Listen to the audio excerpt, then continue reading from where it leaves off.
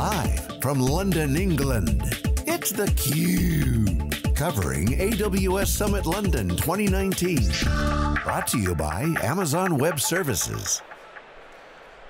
Today we're here at the AWS Summit, live at the ExCeL Centre in London. I'm Susannah Streeter and this is my co-host Dave Vellante here today. Now we've talked a lot about uh, the benefits of cloud and the opportunities and also the challenges sometimes for startups and, and other uh, businesses, but also there has been massive growth of the use of cloud services by public sector organisations. And our next two guests here on the Cube today, um, really this is your area of business, isn't it? So we have Johnny Hugill, who's from Public, uh, but also Max Peterson, VP of Worldwide Public Sector at AWS. Thank you very much uh, for coming on to talk to us. Now, Thank it's you. really interesting. During the keynote speeches, I was really taken uh, by one of the speeches from um, the uh, Chief Digital Information Officer at the Ministry of Justice, uh, Tom Read, and he says, we don't innovate for professional advantage, we do it to take care of people.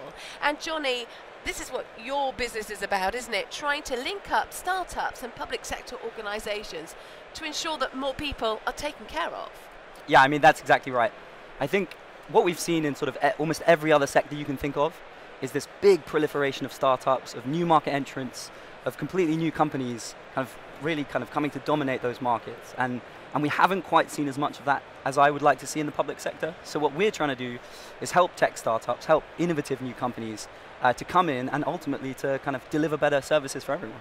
There is real concern, though, among traditional companies about this. For example, your local pharmacy concerned that a, a really big player is going to move in and take away what they do. How do you um, how do you kind of bring them along and say, well, actually, if you work with a startup, it could improve the way you do business and keep you in business. Totally. I think pharmacy is a really interesting example because uh, in the UK, we've seen a bunch of new digital first pharmacies come in and completely transform how people can access their, their pharmacy. So uh, Echo is one example of a UK startup that now you can get door-to-door prescriptions instead of having to go to your pharmacy, make appointments, you know, it's waste loads of time queuing.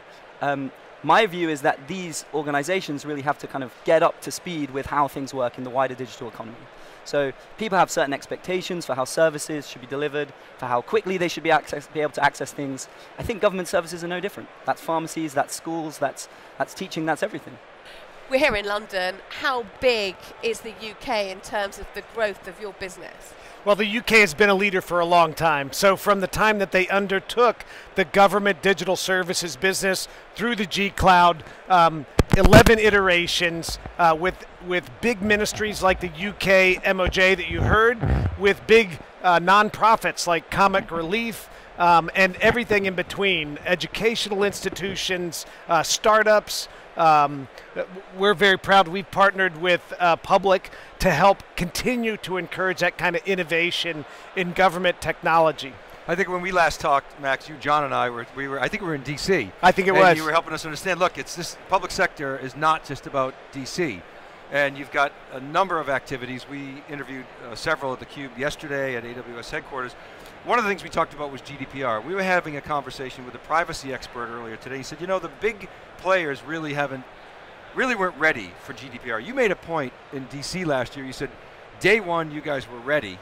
Uh, end-to-end encryption, a number of other services. So I wanted to circle back to you. And sure. I said, okay, we got to peel the onion. I got to ask Max, put him on the spot.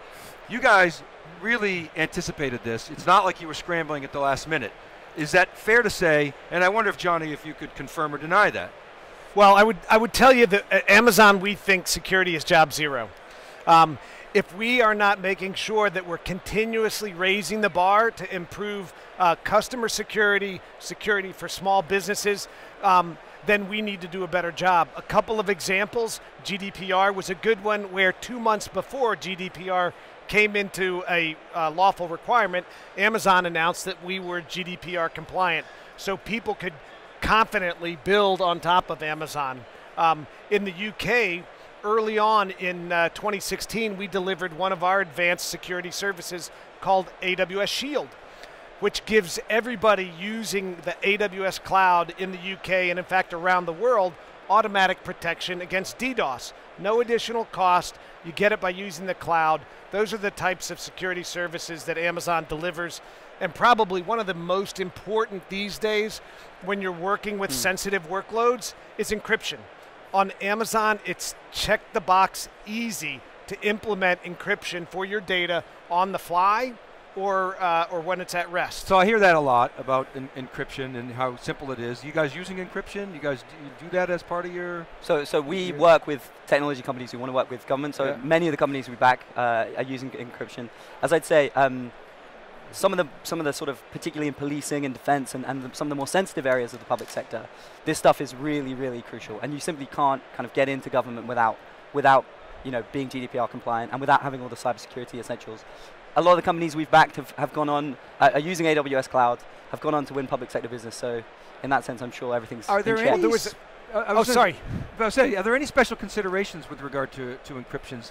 Things like uh, you know, sort of out of scope requirements that I should think about as a, as a, as a customer, or is it really as simple as Max is saying? Click a button and, and uh, check a box and don't even worry about it. It's all taken care of. What's your advice to people in encryption? Is it just encrypt everything? Uh, yeah, it, Are there performance considerations or? I mean, again, it, it totally depends on the scale Uh-huh. of the contract, of the requirements that you're kind of going after. Yeah. For big major contracts with Ministry of Justice, Ministry of Defence, uh, there are a number of different performance c- kind of requirements that you need to consider. Um, but in general, I think, yeah, it's, it's usually Yes. quite straightforward. Kind of I a think the- no-brainer. yeah, I think the answer Yeah. is encrypt everything, Yeah. everywhere, all the time. And that also means on premise. It also means on your devices, right? I mean, it needs to be just the standard approach that people take to data protection these days.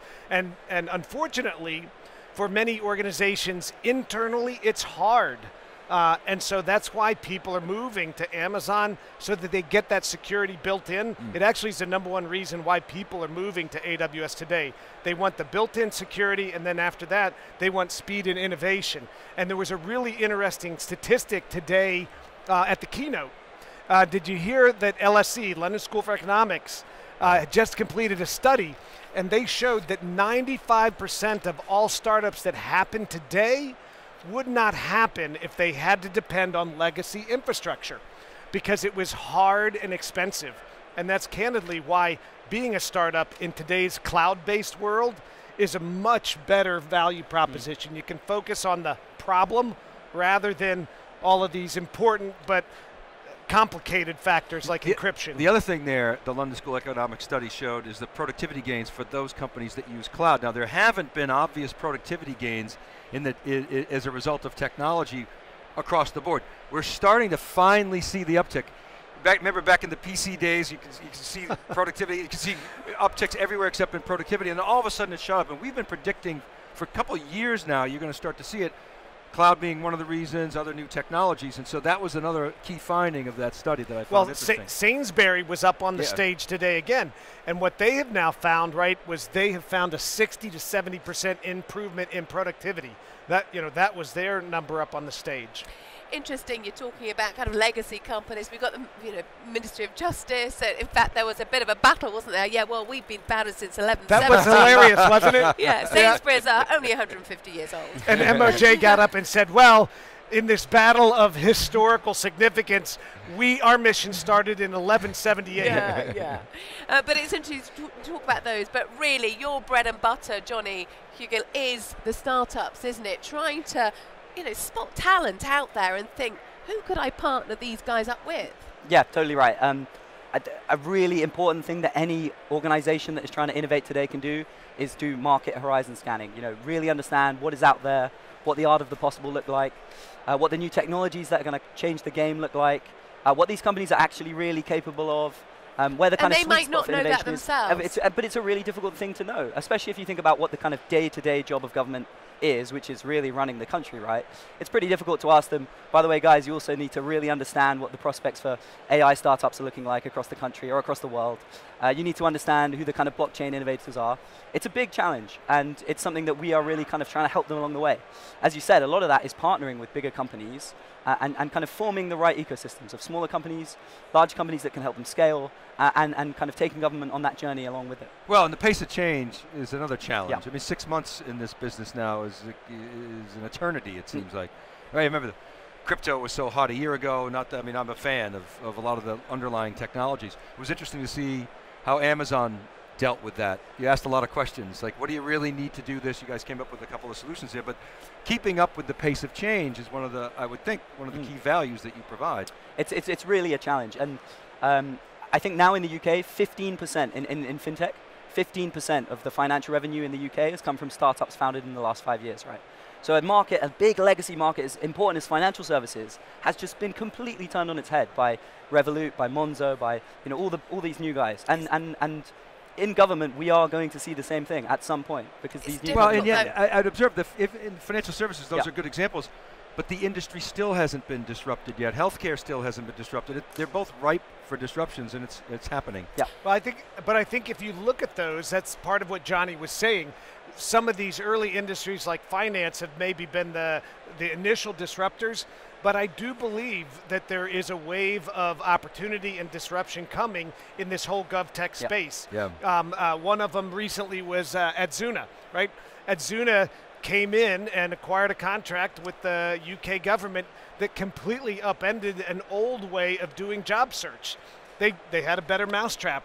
And fortunately, in this case, right, government recognized it and they used them. Yeah, I mean, I would say that was a, a really momentous thing. Um, it, the most used website in, in the entire of the UK government, which is the kind of find a job search site. Um, Adzuna came along, replaced an incumbent supplier who'd been doing it for years, probably quite badly, uh, came along with their new AI-driven platform um, using AWS Cloud, and are now just delivering a service that everyone prefers. Well, I saw NHS has announced what a half a billion pound almost uh, transformation project modernization, and you when you peel the onion, you see a lot of startups. Mm. Behind the startups, you see a lot of cloud going on because that the cloud attracts startups. Startups are where the innovation is, and if you're going to modernize and spend a half a billion pounds, you better look to the innovation Yeah. engine. So- Yeah, I, one of the things about uh, the cloud computing and one of the things about government policy that's critical is that it actually encourages that kind of innovation um, because a lot of small companies are the source of new ideas, but procurement sometimes gets in the way.